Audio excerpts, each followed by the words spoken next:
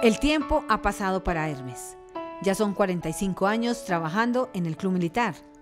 Llegué al club desde los 14 años como Cadi.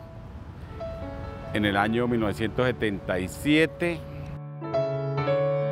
Dentro de tres años ya cumplo mi pensión.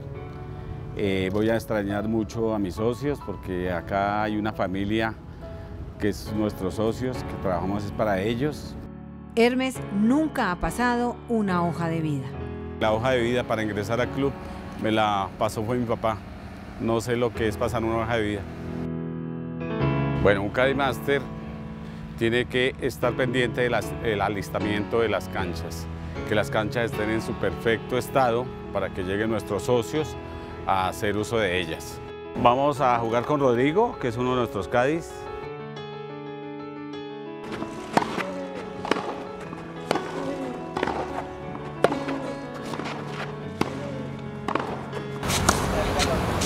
Eso, 6-0. Soy buen Caddy Master y soy buen jugador de tenis. Estos años le han permitido vivir momentos tristes y alegres.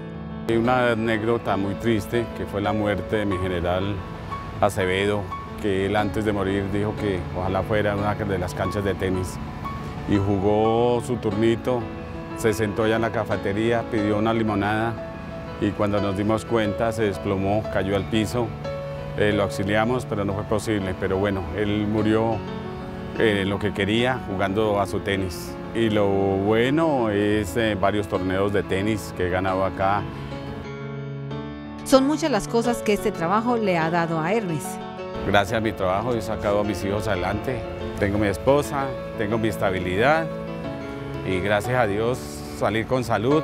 Finalmente, Hermes Fajardo cumplió el sueño de todo ser humano. Gracias a Dios logré trabajar en lo que me gusta, que es el tenis.